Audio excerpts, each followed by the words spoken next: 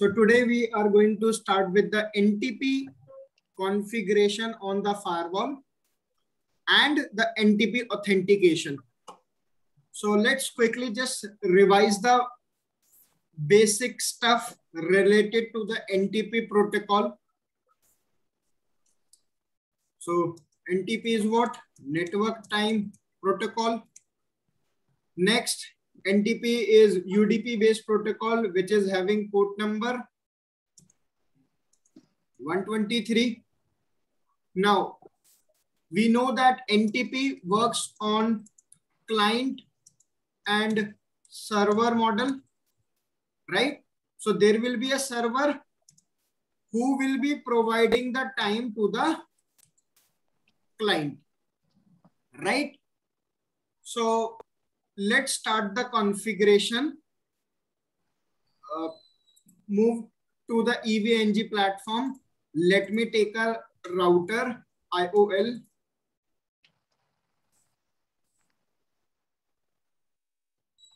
Save. I'll connect router R1 with the management interface of the firewall it's not mandatory that you should connect the management interface of the firewall. You can connect with any interface of the firewall. It is okay while performing the practical. Save. So in this topology, I am going to configure router as my server and the Cisco firewall as my NTP client. Fine. So let me just start the topology. Wipe all nodes I would like to remove all the configuration if any exist on these appliances and then start all nodes.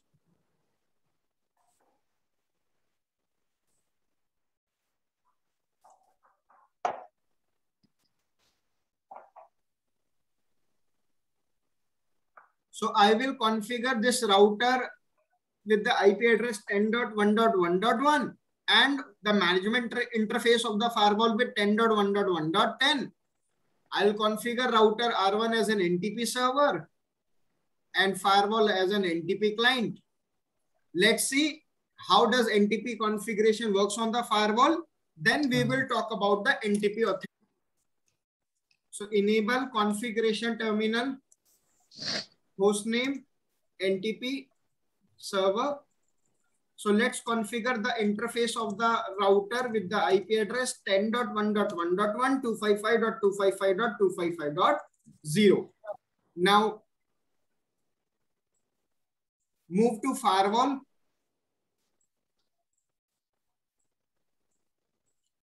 So firewall is still booting up. Let's wait for a while.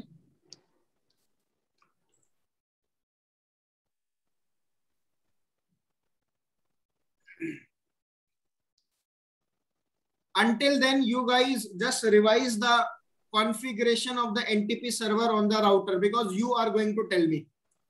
Enable configuration terminal, hostname, and ASA. Done. Now let's configure the management interface of the firewall with the IP address 10.1.1.10, 255.255.255.0.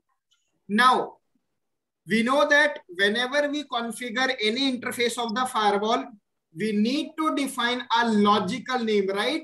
Until and unless you will not define the logical name, the firewall is not going to receive or send the traffic from that port, right? So name if, let me just name it as management. And what else you need to configure? Security level, right? So basically I have introduced the concept of security level, how much trustworthy that port is, right? So if you are not going to define the security level, by default, the security level will be taken as zero. Okay, you can see it says you can configure any number from 0 to 100. You can configure security level 50, 51, whatever you want to. Okay. So show run interface M0 slash 0. So our configuration part is complete. Now let's verify the connectivity between router and the firewall. Show route management only, right? This is how you check the routing table on the firewall for the management uh, interface.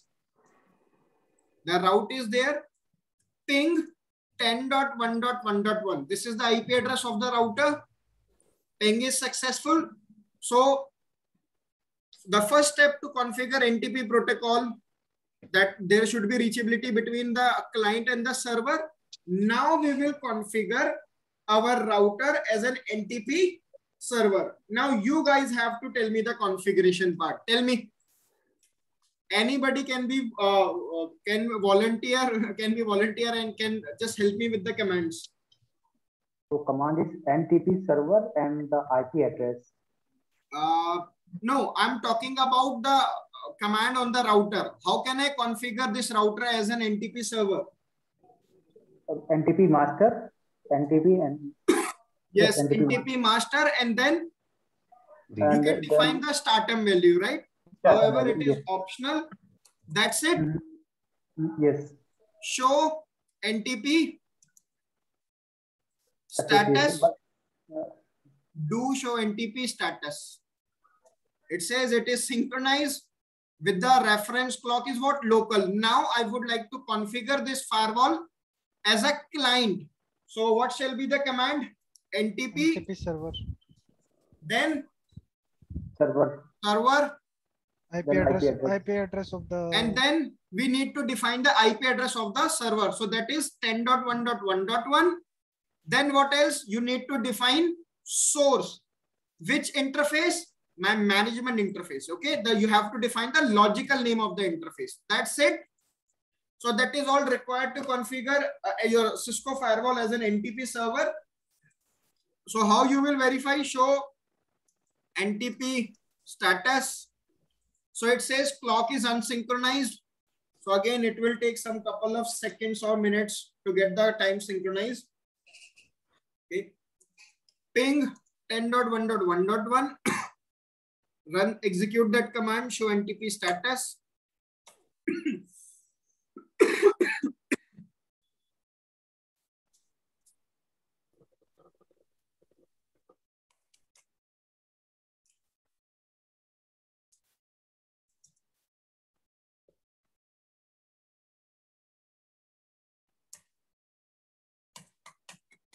Now this thing is something which I cannot help with. We need to wait until the clock gets synchronized. By the time the firewall will get synchronized with the NTP server, let's talk about the NTP authentication. Okay. So I believe now all of you are aware of the NTP authentication. I have all requested all of you to please go through the NTP authentication that we discussed on the router. So again, we are going to talk with the four different cases the first case is what? When uh, that's your server. That's client. Client means again the AS. Fine. That's your router. Now, guys, let's suppose if I implement, if there is no authentication commands on the server. Similarly, when there is no authentication commands on the client, now, will the times, will the time get synchronized? Yes, that time will get synchronized. Second thing, will the authentication happen in this case? No. Let's call this as a time synchronized, whether the time will synchronize or not. And this one as uh, authentication will happen or not. Okay. So in this scenario, the time will get synchronized, but no authentication will happen. Fine. Now let's talk about the second case. Let's suppose that your server is configured with the authentication commands. Okay, authentication keys have been configured, but no authentication command is running on the firewall. Now, please tell me, will the time get synchronized or not? All of you, Again, the concept is exactly similar what we have discussed on the router. If the authentication my there. point is yes tarun my point is let's suppose if i have run the authentication command on the server okay but on the firewall or you can say on the client, I have not run any authentication command. Now my question is, will the time syn synchronize or the time will not synchronize on the client? The time will synchronize you because NTP do one one way one way. Absolutely, one way. the client the uh, the yes the time will synchronize. Now the second question, will the authentication happen? Oh, authentication will no. not. No, no authentication will happen. because authentication request is always generated by the client. Is it clear? Now, third, if we have implemented, if if there is no authentication on the server, but we have implemented the authentication on the client. Now in this scenario, will the time get synchronized? Answer is no. And will the authentication happen? Yes, the authentication will happen in this case. Why? Because the client will initiate for the authentication. And since the server is not running with the authentication command, so obviously there will uh, there will be no time synchronization. However, the client will request, the client will send the authentication message to the server. Is it clear? And the last one.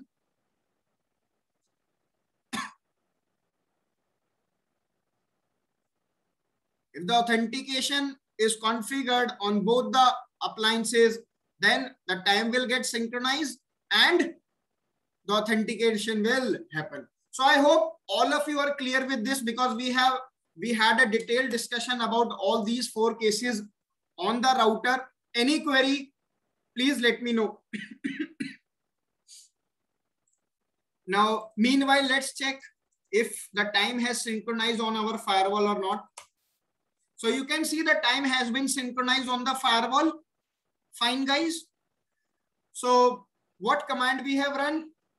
only that one command has been executed on the firewall. And what was that command? NTP server, the uh, IP address of the server and the source interface. As simple as that. Now let's talk about the NTP authentication. And since we have already discussed all these four cases along with the router, right? So I'm not going to discuss these three cases. I will just, I'm just going to discuss the fourth case. That means the authentication, we will run the authentication command on firewall and on the router and we'll see uh, whether the time will synchronize or not. Okay. So first of all, just remove the NTP configuration from the firewall. Now, I told you if you want to remove any configuration on the firewall, so what you need to do, you need to just run this command clear configure if you execute this command, the firewall will remove all the configurations, routing configuration, interface configuration. That means all the configuration will be removed. But let's suppose if I would like to remove only the specific protocol configuration. So I can write clear configure NTP. And now the NTP configuration has been removed. Let's verify, show an NTP. Uh, there is uh, no sorry, commands. Prashant, one question here. Yes, please. Uh, uh clear configuration agar if uh, by mistake i do it will ask yes or no to me or it will directly remove the Yo, config. clear configure execute.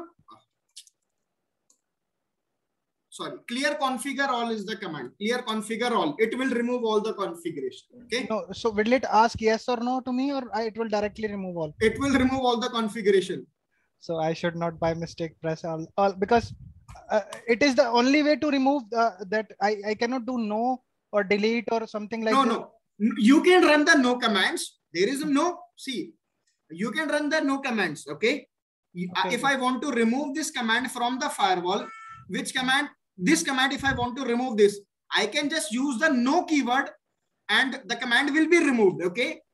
However, on the firewall, you can run this command also clear configure and then you can define the specific protocol which you would like to uh, remove from the firewall. So this command will basically remove the complete configuration of that protocol. Are you able to understand? Got it. When you are going to run the no command, it will particularly going to remove that particular command only.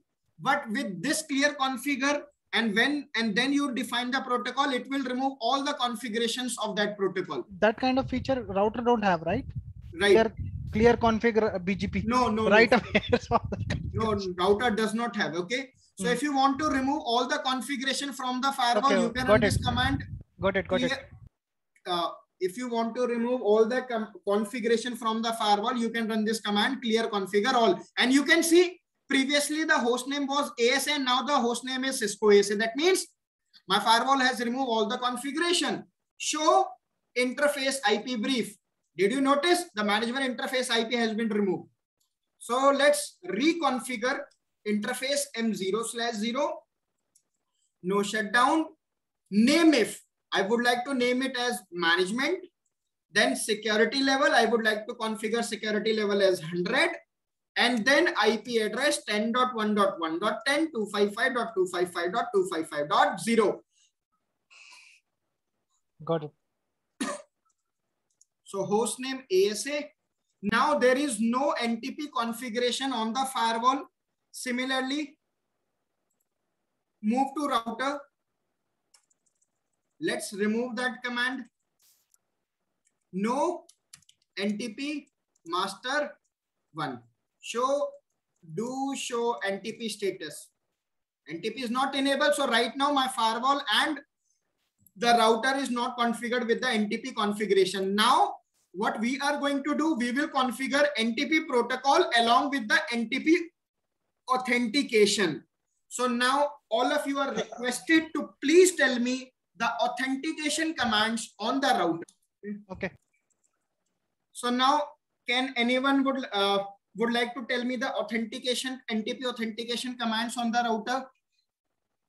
Anyone? Uh, NTP authentication key.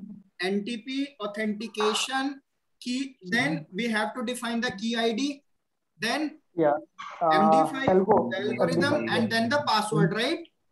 Yes. So, so my password is okay. In the lab examination, let me tell you how you are going to get the password. So in the lab examination, guys, you you will get the passwords like this: C capital C small I S C zero one two three. Okay. So in the lab examination, the Cisco will ask you to configure password something like this: capital C small ISC zero one two three or capital C small ISC O at the rate 123. So you will get the password something like this always in your lab examination. Then what? Any other command?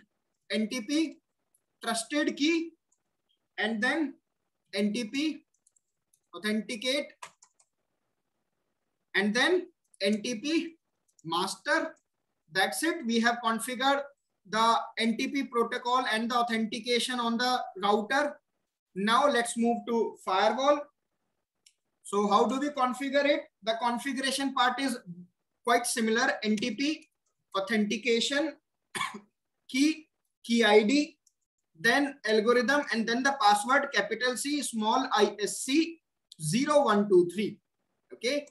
Then NTP, trusted key, then NTP, authenticate, and finally define the server. NTP, server, IP address 10.1.1.1, source, MGMT. That's it. But NTP server 10.1 has no key, therefore it cannot be authenticated. Huh? What does it mean? Okay, okay, okay. Let me tell you, we miss we miss a keyword. I need to write key to perform the authentication. Okay, so key, and then what is the key ID we configured? We have configured the key ID as one, right? The key ID is one, so we need to write this key ID, key one, and that's the complete command. Okay, NTP server, then source, and then you have to define the key. Now wait, show NTP status. Now it will take again some couple of seconds or minutes.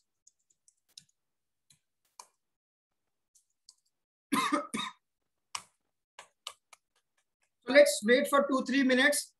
Uh, until then, let me have water.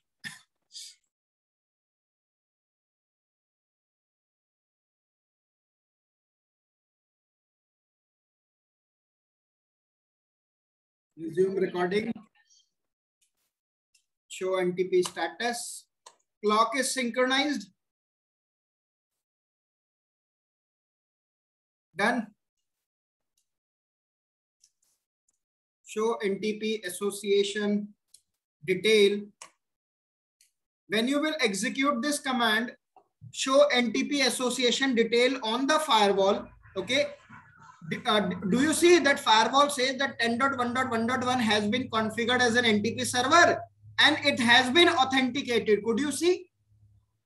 So from here, you can verify whether the NTP server has been authenticated by the client or not. Okay. So this is how you configure the NTP protocol on the firewall. Now, any queries, guys? Uh, who are there in the batch? Mr. Amit, Mr. Ben, Mr. Mike, Santosh ji, any queries?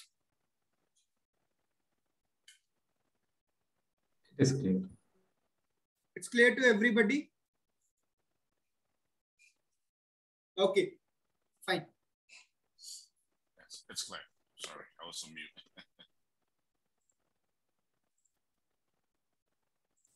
Now I would like to talk about syslog messages on ASA. However, I have discussed the syslog message on the ASA, but still in a quick go, let's just revise it. Okay, because there are a few commands which we have not discussed as of now for the syslog. So I told you guys by default, log messages on ASA are disabled.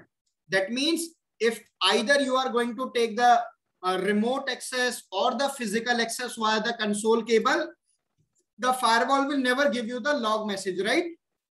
Uh, show interface IP brief. Right now, the management interface is in up, upstate interface M0 slash 0. Let me just execute the shutdown command. The interface will go down. But did you find any log message on the firewall? No, because by default, logging is disabled. Run this command, show logging, and see your firewall says the logging is disabled. See, everything is disabled on the firewall. No logs will be given. Fine. So how you can enable the log messages on the firewall? First of all, you need to run logging enable and then you need to define up to what severity level you would like to get the log messages, right? So if you write down seven, that means you will get the log message from severity level zero to seven. Now move to interface M0 slash zero, run no shutdown command. And you can see you are getting the log message. Firewall says that this interface has been brought in the upstate. Fine. So this is what uh, uh, checking the log messages on the firewall only. Okay. Now, let's suppose that I would like my firewall to send the log messages to a syslog server. Guys, do you remember that uh, when we have discussed the syslog messages on the router, we have performed a practical of syslog, right? In that syslog, what we have taken, we have taken a Kiwi syslog server where we have asked the router to please send all the log messages to the Kiwi syslog server. Remember? So I'm not going to perform the same practical again, but I'm going to tell you the commands on the firewall, okay, to send the log messages to the syslog server. Is it clear? so basically, let's suppose that's my ASA. Fine. And I want my ASA to send all the log messages to a syslog server. Now, what is the first condition? The first condition is that your firewall must be reachable with the syslog server, right? There should be reachability. So if the reachability is there, then you need to perform syslog configuration on the firewall and firewall will start sending the log messages to the syslog server. Is it clear? So, and what are those commands? The commands are exactly similar to the router. so show run logging. So with this command, you have enabled the log messages on the firewall. With this command, you have told the firewall that you would like to see the log messages up to severity level 7 because severity level 7 is known as debugging, right? Now I would like that my firewall should send the log messages to the syslog server, okay? So what command you can run? Logging, then host, then you need to define through which interface my firewall should send the syslog messages. So right now we are having only this interface as the configured interface. So I will tell my firewall that please send the syslog messages through the management interface. Now I have to define the IP address of the syslog server. Okay. So let's suppose my syslog server is having the IP 10.1.1.1. Okay. Then anything else? The CR is there. That means the command is complete. So with this command, we have asked the firewall to please send the syslog messages via this interface to this IP. Okay. Now, we need to tell the firewall that whenever you are going to send the syslog messages to the syslog server, please send the log messages up to severity level, whatever severity level you want to define. Fine. So show run logging. So basically these two commands are the necessary commands if you want to if you want your firewall to send the log messages to the syslog server. Okay. So you can perform this practical by yourself. Uh, you, you can just conduct the practical similarly what we have done with the Cisco router. Just take the firewall, make this firewall connected with a switch and make this switch connected with the cloud on the eve, right? And install the Kiwi syslog server on your laptop and then just configure the syslog configuration on the firewall and check if your firewall is sending the log messages on the Kiwi server or not. Is it clear to everybody? I'm just not conducting the same practical again because I have already performed the same practical previously, right? So I believe that I just need to tell you the commands and you shall be able to do this. Guys, do you really need the practical or are you fine with this? Please let me know. Yeah, if you know some freeware, uh, uh, if you know a freeware that we can use for the syslog for testing, you know, uh, that that's if you can suggest a freeware syslog server. Uh, I have already shared a syslog server with all of you. Oh, okay. It's on the I, list. Okay. I, I have Right. shared the setup of Kiwi syslog server. Oh, Kiwi. Okay. Just please check. Uh, please check the Google Drive link which we have shared you initially during your second or third class. Yes, I have it. I have it. I, I, Okay. I didn't look for the sys- syslog server. So, okay. all right. Thank you. Thank you. So that's about the syslog configuration on the firewall.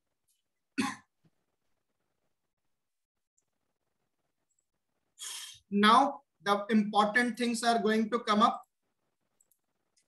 How traffic is processed by the firewall.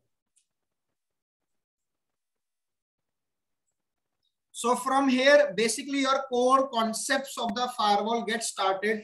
Okay. So and now we are going to talk about how firewall process the traffic. Now let me tell you, whatever I'm going to tell you, it is not going to end up here because once we will configure VPN, we will talk the firewall uh, packet processing again. When we will configure NAT protocol on the firewall, we will talk about the packet flow again. So we will keep on uh, going through the pack of packet flow on the firewall again and again But in today's class, I'm going to talk about the basic packet flow on the firewall. Okay. When there is no VPN connection, when there is no uh, NAT configuration, it's just the basic traditional firewall configuration is there. So how the traffic will be processed by the firewall. That's what we need to understand today. Okay. So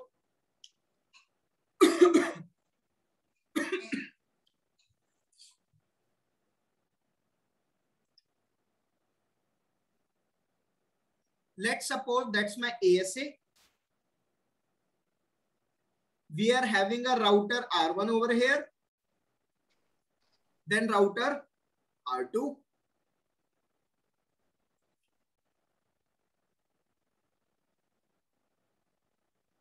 Let's suppose this, this router is having the IP 10.1.1.1. This interface of the firewall, let's suppose it, it is interface gig 0 slash 0 and it is gig 0 slash 1, okay? It is configured with the IP address 10.1.1.2. Now, this router is having the IP 20.1.1.1 and this interface of the firewall 20.1.1.2. Now, let's assume that this router R1 has generated a TCP packet, okay? So we know that whenever a packet is generated, there will be a TCP header. In the TCP header, there will be a source port number and the destination port number. Let's suppose that R1 is trying to take the telnet of R2. Okay, we have configured R2 with the telnet protocol and from R1 we would like to take the telnet of R2. Again, telnet is a TCP based protocol.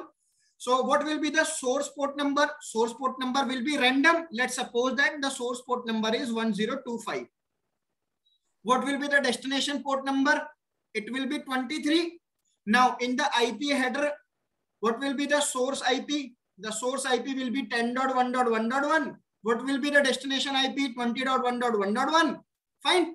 Now, before processing for the telnet, try to understand guys, before this router will actually take the telnet access of router R2, we know that TCP protocol always uh, goes through the three-way handshake process. So obviously in the TCP header, there will be a SYN flag, synchronized flag, which will be kept as on so when the when this sync flag will be sent to the firewall, hold on, hold on for a moment.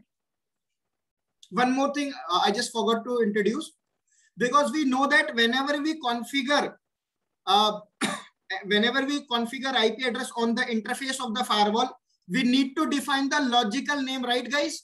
So let's suppose that this interface is having the logical name as inside and this interface is having the logical name as outside fine and assume that we have configured this interface with the security level 100 and this interface has been configured with the security level 0 okay now what happens on the firewall by default cisco firewall allows the traffic from high security level to low security level. Is it clear? I am saying by default, your Cisco firewall allows the packet from high security level to low security level. Is it clear? So when this synchronized pa packet will be sent by the router to the firewall, okay? Now, your first of all firewall is going to check the ingress interface. Ingress interface means on which interface I have received the packet. The ingress interface is what? Gig 0 slash 0, right? And what is the security level of that packet? Oh, sorry, what is the security level of that interface? 100. Now, firewall will check what is the egress interface? How firewall will check the egress interface? Egress interface means through which I have to forward the packet.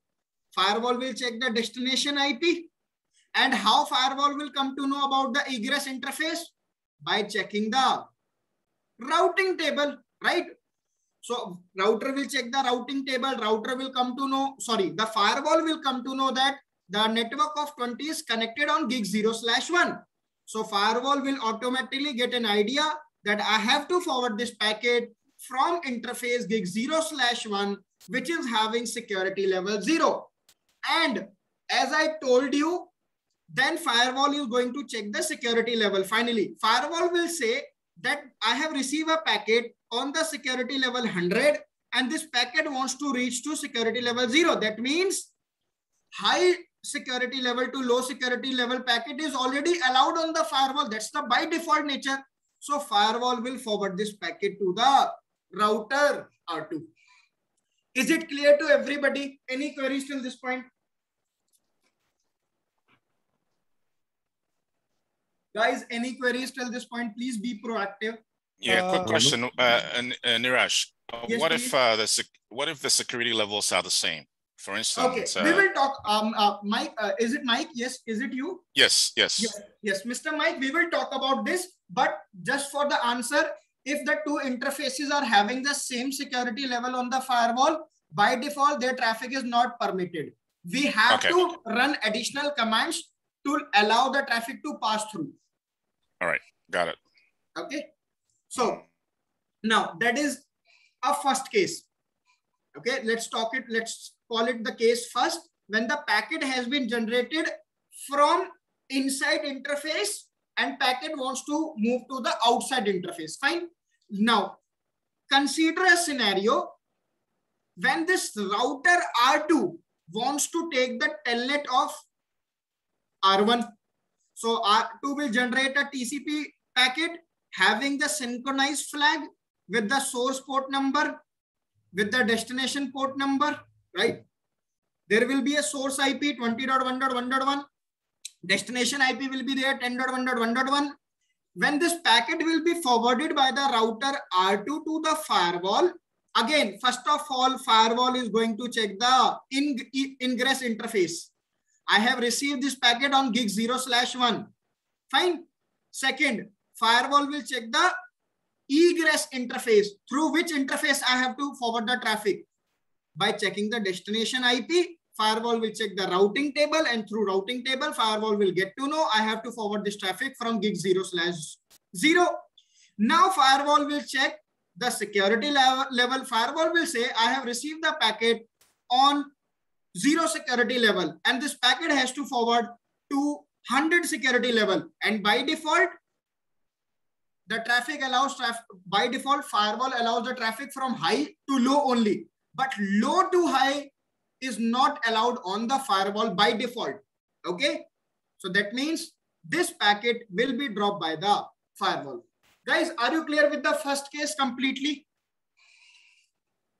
Everybody Yes, Prashant, it's clear. Okay. okay.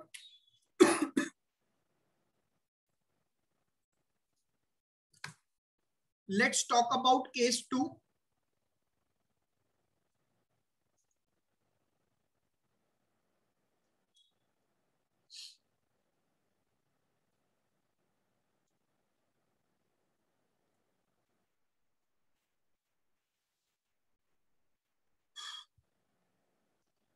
10.1.1.1, 10.1.1.2, 20.1.1.2, 20.1.1.1. Fine, that's a ASA. Now, let's suppose that, let's talk about the sync plus ACK message. Okay, directly, let's suppose that this router R1 has generated, okay,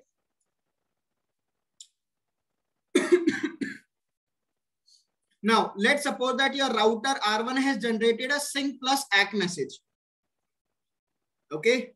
Having the source IP 10.1.1.1, destination IP 20.1.1.1. Fine.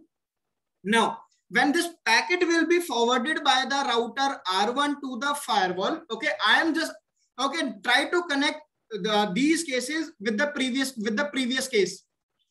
When in the case one, the router R1 has sent the synchronized message, right? Fine. the packet has been passed by the firewall. Then now I am saying, let's suppose that if your router uh, R1 has generated a sync plus acknowledgement message, fine. Now, when the firewall is going to receive this message, okay, firewall will check the ingress interface. Fine. Again, the ingress interface is gig 0 slash 0. That's fine. Now, firewall will check the egress interface, gig 0 slash 1. That's also fine. Now, firewall will check the security level. Security level is what? Zero. Uh, the packet has to be forward from security level 100 to 0. Now, ideally, this packet should be forwarded by the firewall, right, guys? As per the case 1, the firewall should forward this packet, but firewall will drop this packet. Why firewall will drop this packet? Because firewall will say that if I have not received any synchronized message, okay, if I have not received any synchronized message from this end, why I am getting synchronized plus acknowledgement message via this way. So ideally your firewall will block this traffic. It will drop this. Is it clear to all of you? Yes. Okay. Now, let's suppose actually- now you. Mhm. Actually, uh, I'm trying to understand the case one is that uh, by default, uh, Okay, Yes, Tarun, Tarun, uh, Tarun, let me just make it a, a pretty simple here. Okay, that uh, when R2 in the case one, okay, in the case one, R2 has generated a synchronized message, right? right, Uh, I'm talking about this case. Okay, Mhm. in this case, R2 has generated a synchronized message, correct, correct. R2 has generated. right? It Uh-huh. has been dropped by the firewall. Why? Because of the security level. security level. Right. So that means firewall has not passed this traffic. Now, I, I'm just giving you a scenario. Let's suppose that this router R1 is sending synchronized plus acknowledgement message to the firewall. Mhm. Ideally, it should be passed, but firewall will drop it because firewall is such an intelligent device. Firewall will say if no synchronized message has been passed through in this from low to high, then why I'm receiving this synchronized plus acknowledgement message? Firewall will drop this. Is it And- clear, Tarun? In the first case, also firewall will drop. In the second case, also firewall will drop. Yes. Right. Okay. Okay. So Prashant, if it is only the syn uh, synchronization packet, then it will not drop the packet, right? Yes, Suppose obviously. Yes. Yes. Hold on. Let me just complete that both the case one and case two. Then still, if you guys will be having any queries, then I, I, I will be answering you. Okay. So right now, I just have discussed about this, this case one. Okay. And this case two. These are related with each other. Is it clear to all of you? The case one, this one, okay when the packet sync packet has been generated by r2 okay it has been dropped by the firewall now let's suppose that if firewall is receiving synchronized plus acknowledgement message on the gig 0 slash 0 firewall will drop it even though this packet should be passed but firewall will drop it why because firewall will say that if i have not allowed any synchronized pa- packet in this flow then how can i get the synchronized plus acknowledgement message directly is it clear, everybody?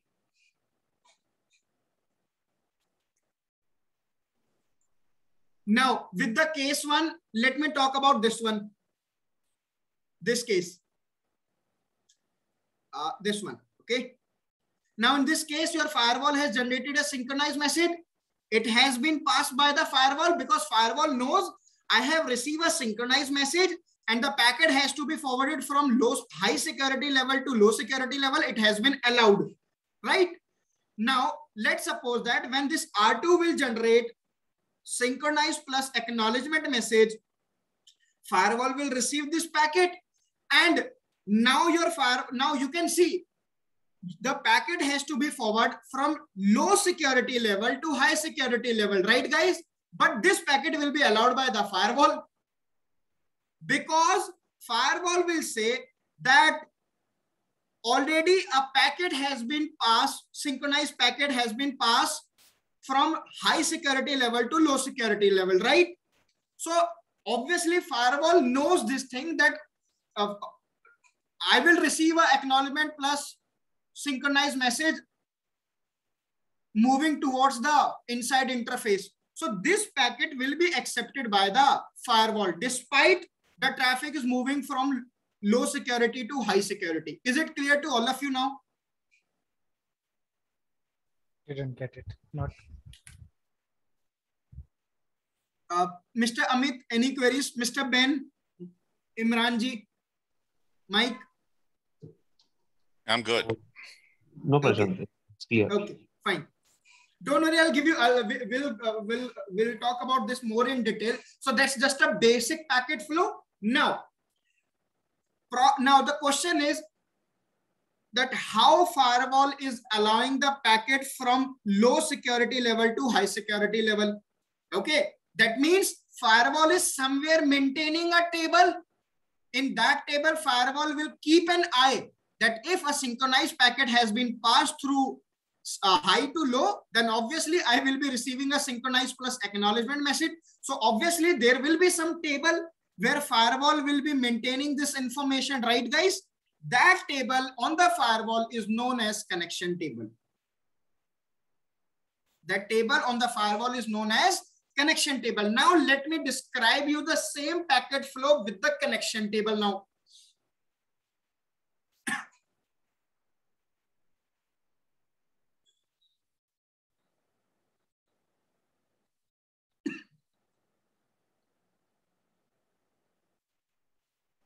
So we are having R1,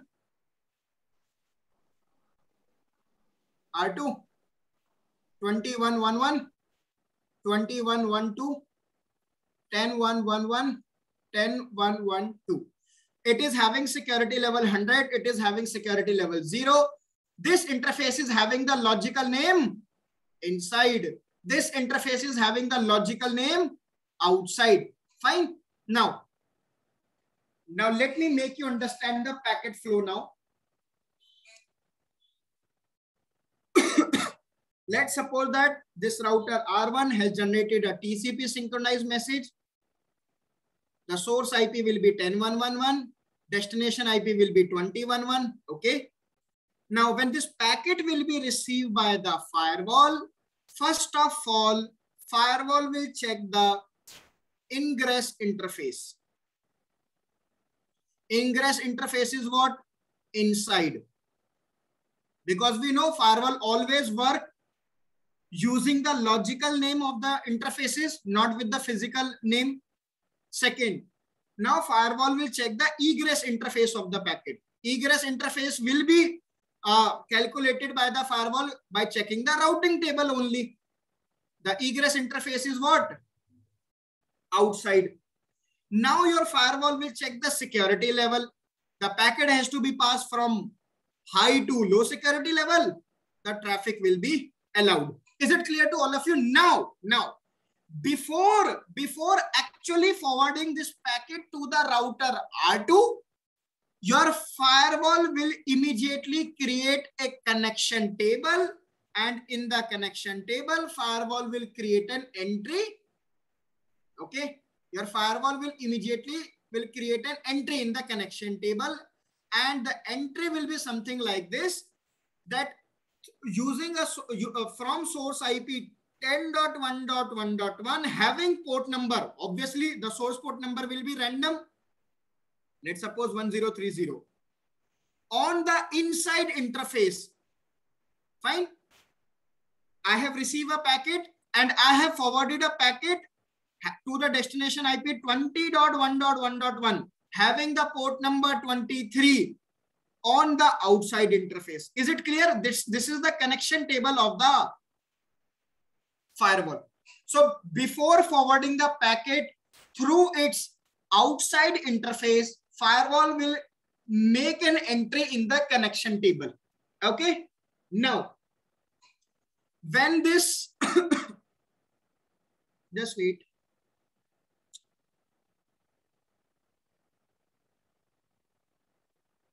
Now, when this R2 will send the sig the synchronized passage uh, packet has been passed.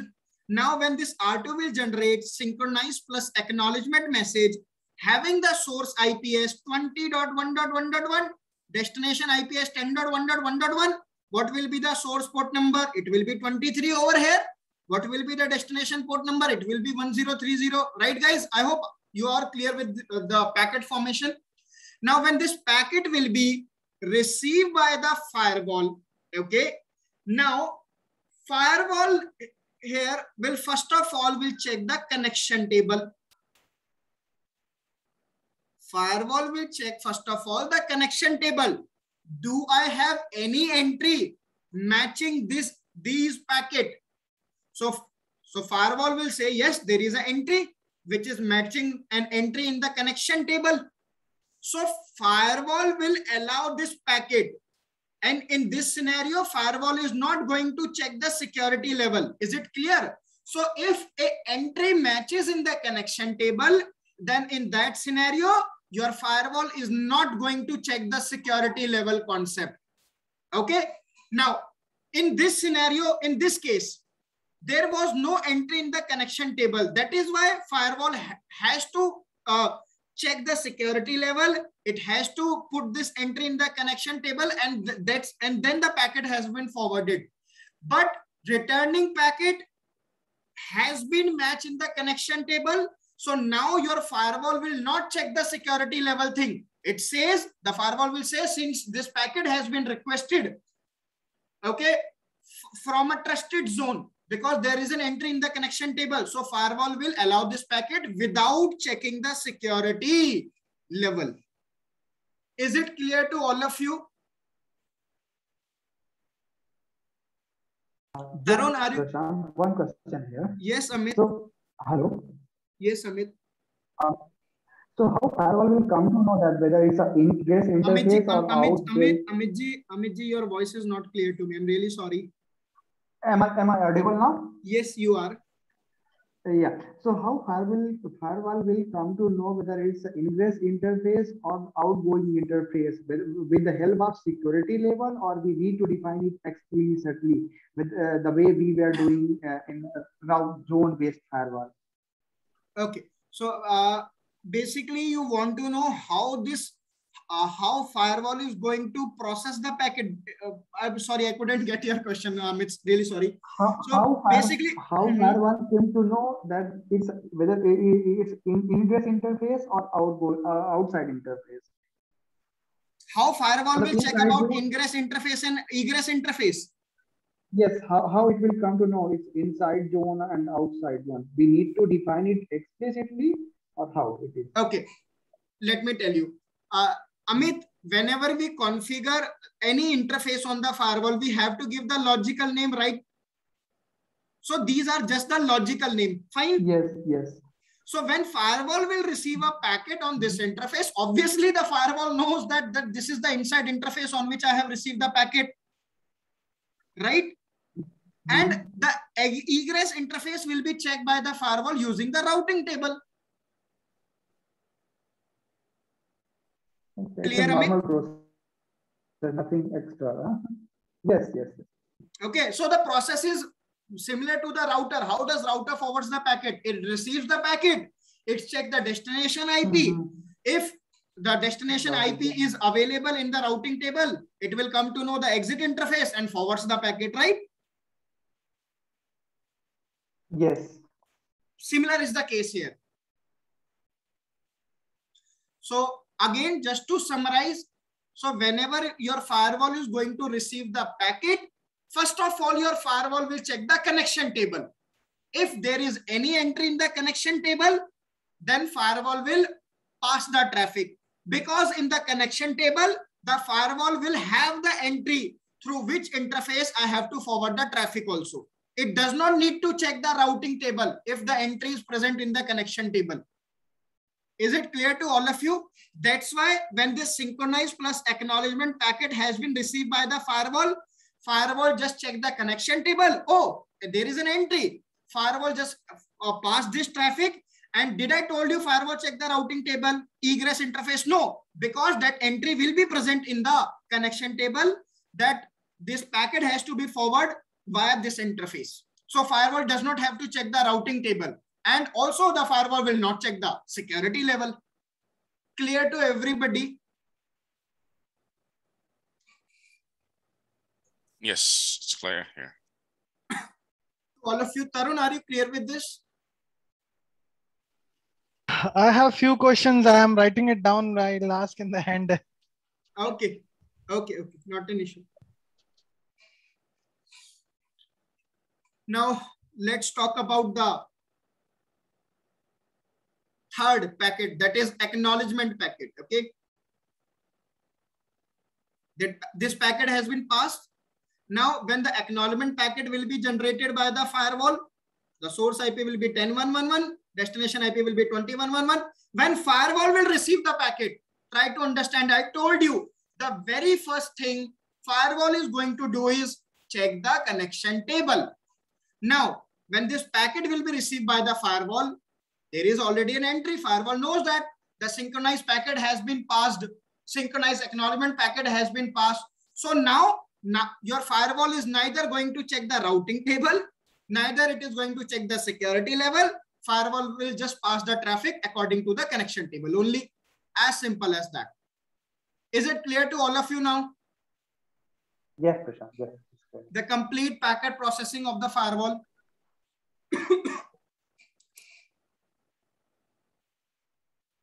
So if you guys are having any query till this point, please let me know. Else, I'm going to jump to the practical section. We'll see all these things practically. So no queries. So let me just move to the lab.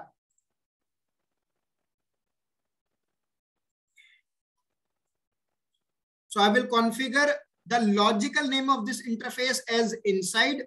The logical name of this interface will be outside. We'll configure the security level zero over here and security level 100 over here. Fine. And we'll see the connection table. We'll see the packet inspection.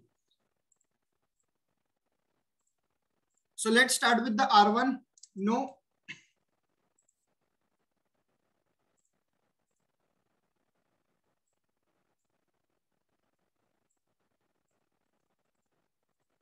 enable configuration terminal interface is 0 slash 0 no shutdown. Ip address will be 10.1.1.1 255.255.255.0 host name r1 you have configured the ip address on the router r1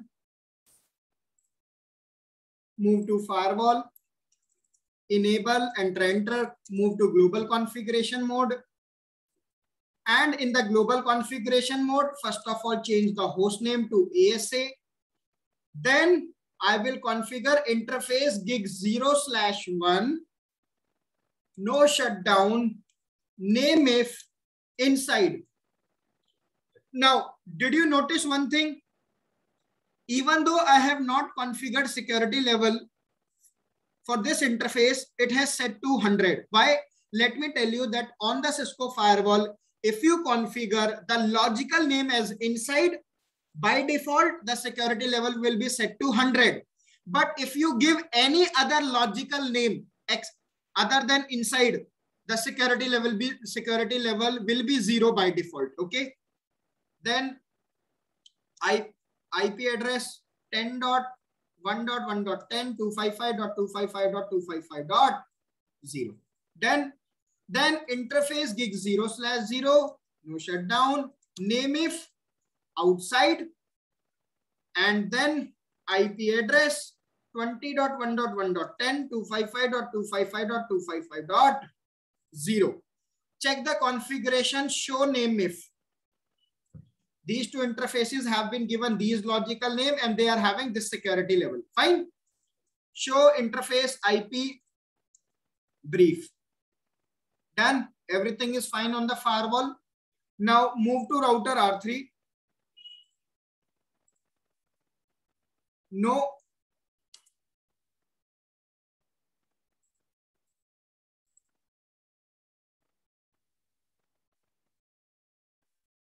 R2. enable configuration terminal interface is 0 slash 0 no shutdown. Ip address will be 20.1.1.1 255.255.255.0 host name will be r2 that's it. We have configured the ip addresses on all the appliances. Now let me configure telnet protocol on router r2 so how do we configure telnet line VTY 0 to 4, transport input all, no login. That's it. Telnet protocol has been configured on the router R2. Now move to router R1 and let's take the telnet access of router R2. Okay. So do telnet 20.1.1.1 it says destination unreachable. Why it says destination unreachable? Let me just check on the firewall. Show route. So both the routes are there. Move to okay okay okay got it. On the router r1 we have not defined the route for the network of 20, right? Do show IP route. So IP route to reach network of 20, 255.0.0.0, exit interface is 0 slash 0. Similarly, move to router R2. On the router R2, it does not have the path to reach network of 10. IP route to reach network of 10. Exit interface is 0 slash 0. That's it. Now try to take the telnet from router R1 20.1.1.1.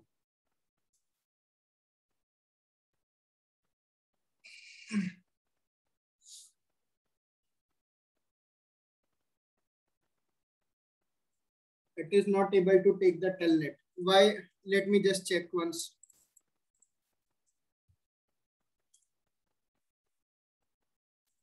Logging console 7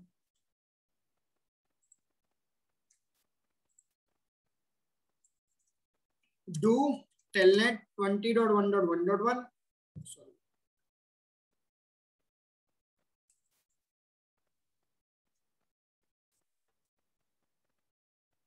What happened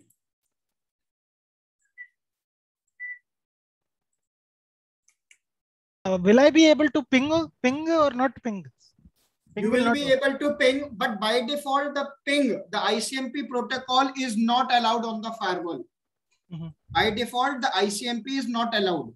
You have to run this command fix up protocol ICMP because by default, the Cisco firewall do not create any entry for the ICMP protocol in the connection table. Okay. So if there is no entry in the connection table, obviously the ping will never be successful.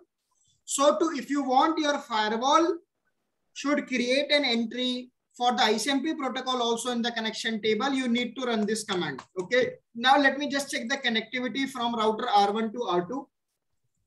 So Prashant, in case of man management port, it is allowed, allowable, right? What? In case of management protocol, ICMP is allowed. Yes, on the management interface, you can ping the firewall to check the connectivity. But when you are talking about the passing the traffic from mm -hmm. one port to another port to the firewall, by default, ICMP is not allowed because okay. for the ICMP, firewall is not going to maintain the connection table. Clear? So we are having also, it will know show so show CDP neighbor neighbor and also not come on the Cisco firewall. The CDP is not supported. Okay. Okay, there is some reachability issue. Let me just check. So let me do one thing. Configuration terminal. I know do show run pipe section IP route. No. Let me just remove this route And instead of that, let me give the IP route to reach default gateway 10.1.1.10. And uh, similarly on router R2, do show run pipe section IP route no let me give the route again with the next hop address as 20.1.1.10 ping 20.1.1.10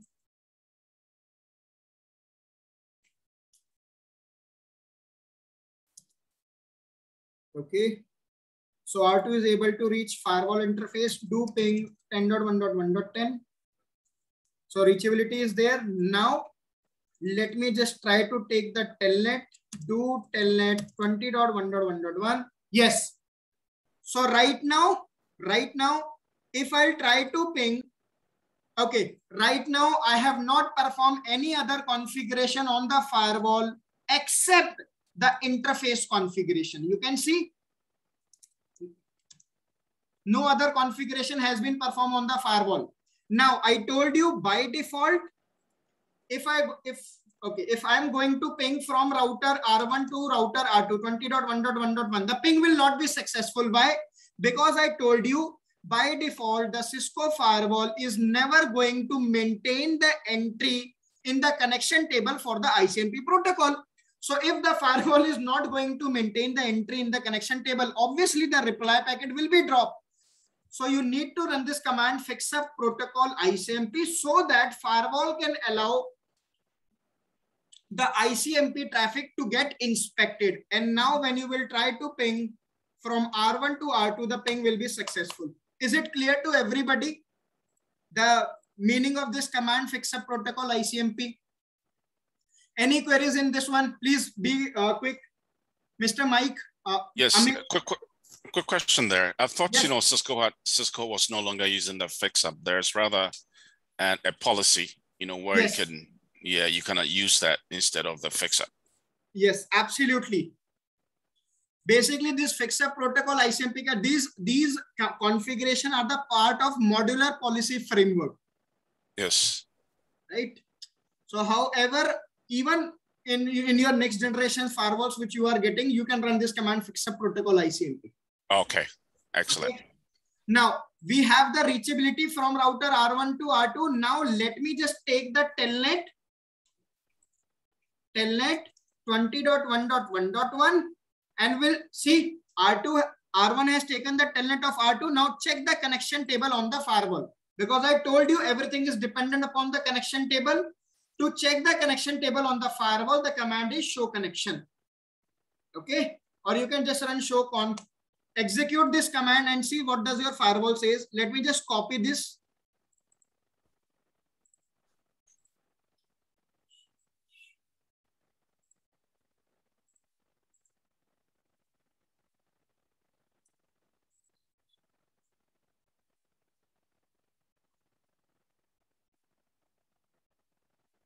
So that's the entry in the connection table. this is what? This is protocol okay? This is what? This is your low security level interface. This is what? Your destination ip and the destination port number. This is what your high security level in interface this is what your source ip address and the source port number Fine. It says idle from last 15 seconds.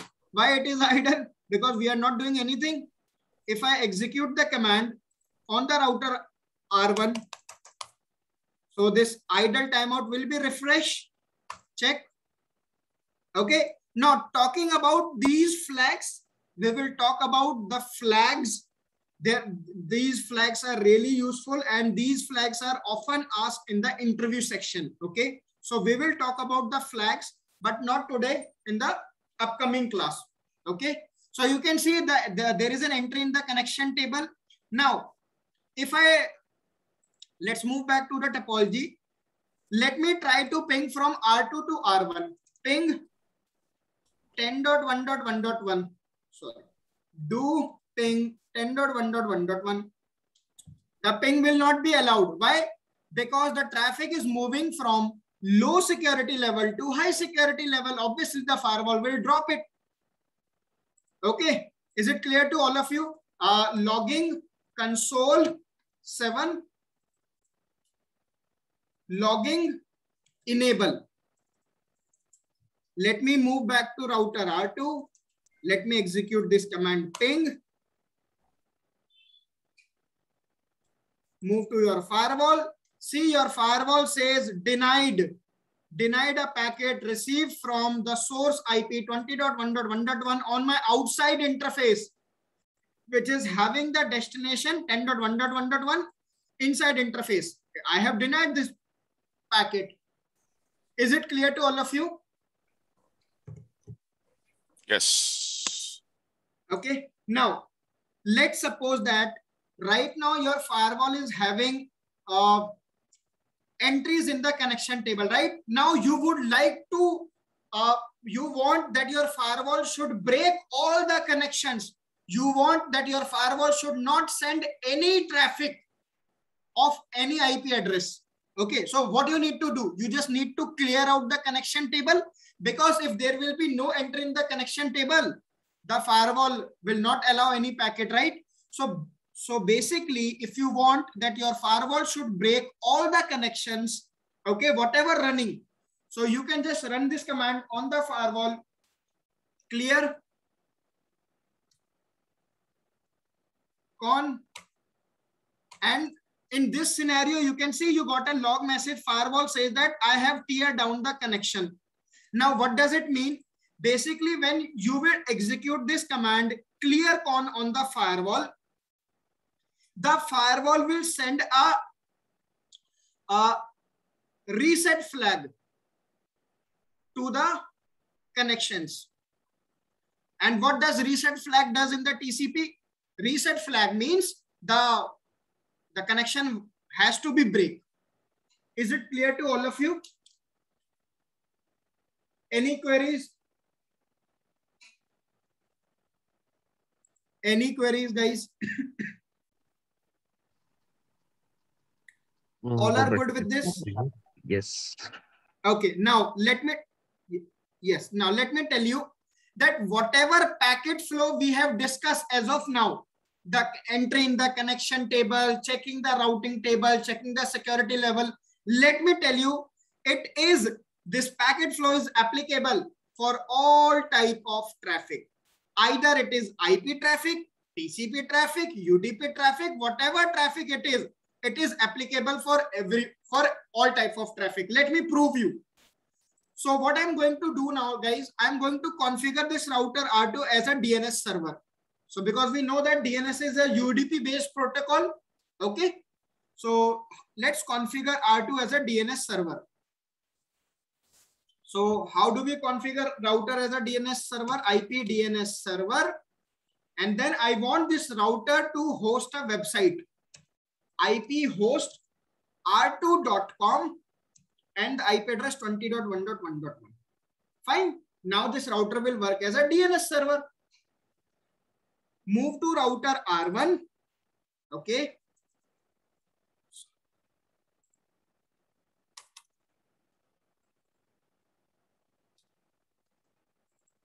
Just wait.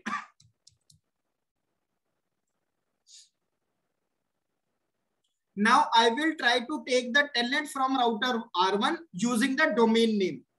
So before taking the access from the domain name, you need to tell this router R1 that what is your DNS server. So IP name server is the command. I, I have told my router R1 that this is your DNS server. And now take telnet using the domain name r2.com. You can see the DNS query has been resolved. We have got the telnet access. And if I show you the connection table on the firewall, show connection. Uh, I think the firewall has removed that entry. Just wait. Because in the DNS, a, query message has been sent, a reply has been received, and that is it. So let us do one more thing. Move to R1. Let us just check on the firewall. Hold on. This is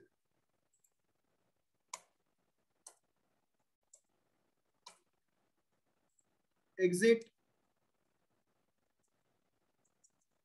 uh, telnet or let me just run this command ping r2.com.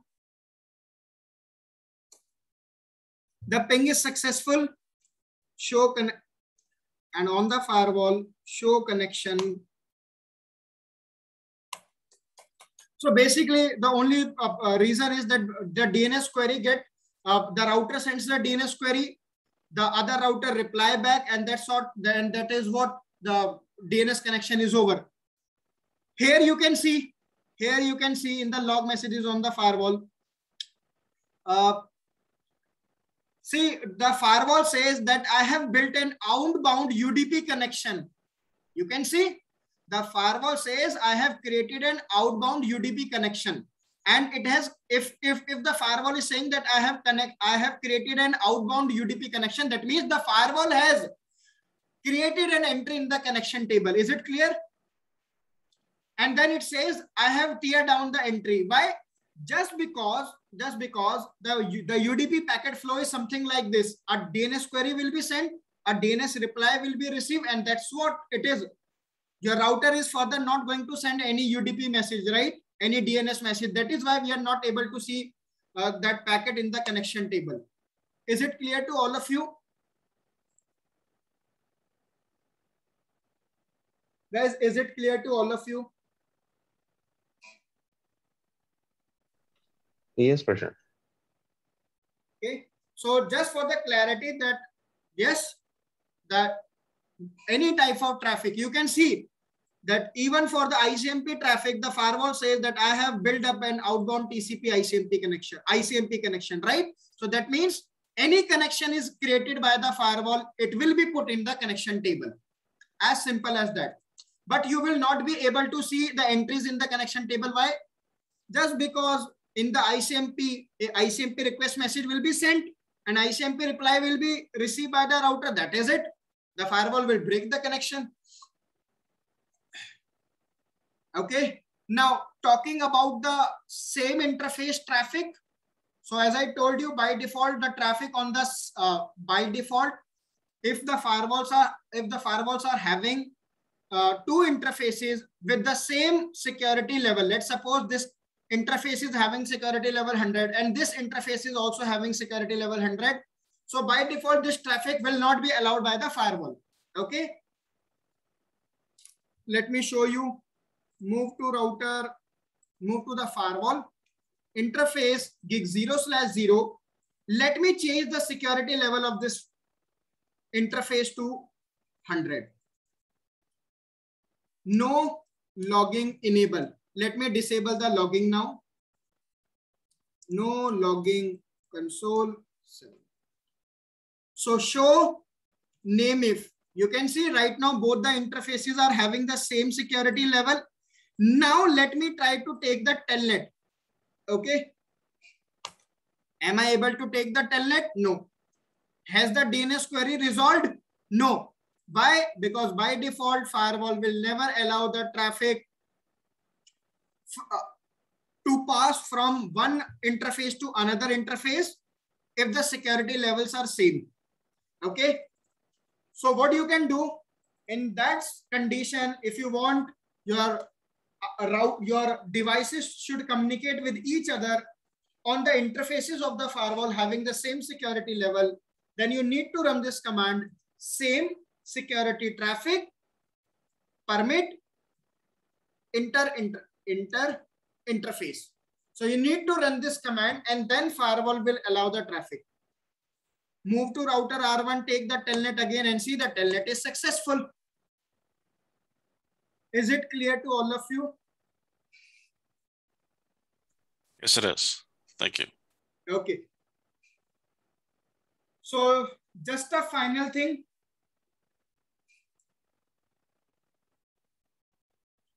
Remember if it is my firewall okay there are three interfaces. If this interface of the firewall has been provided a logical name let's suppose that inside. So you cannot configure same name on other another interface. You i cannot configure inside name on the other interface of the firewall so basically the logical name that you configure on the firewall are all unique you cannot have same logical name on two different uh, interfaces of the firewall however security level can be same and that's all for today So today we have just discussed the basic packet flow of the firewall. Okay. And uh, for the same security level by default firewall do not allow the traffic. You need to run an additional command. Also by default the ICMP protocol is not allowed on the firewall. The firewall will not let ICMP traffic to pass through until unless you need to run this command fix a protocol ICMP. Also last thing that I would like to show you is that what is the time period for an for an entry in the connection table. You can run this command show run uh, show run time out. So with this command you will be able to see uh, the timeout for all the for all the uh, protocols or whatever you say. So you can see the uh, uh the firewall says in the connection table i will keep TCP entry for one hour. Okay, the TCP protocol, any entry for the TCP protocol will be kept for one hour. But UDP entry will be there only for the two minutes. That means if your connection is idle for more than two minutes, the firewall will break the connection. Similarly, let's suppose that your firewall is having a TCP connection in the connection table, but that connection is idle so firewall will keep it until one hour. But moment it crosses the one hour, the firewall will kill the session. Is it clear to all of you?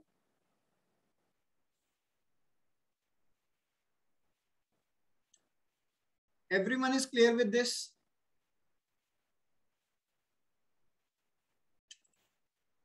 Okay, so that's all for today.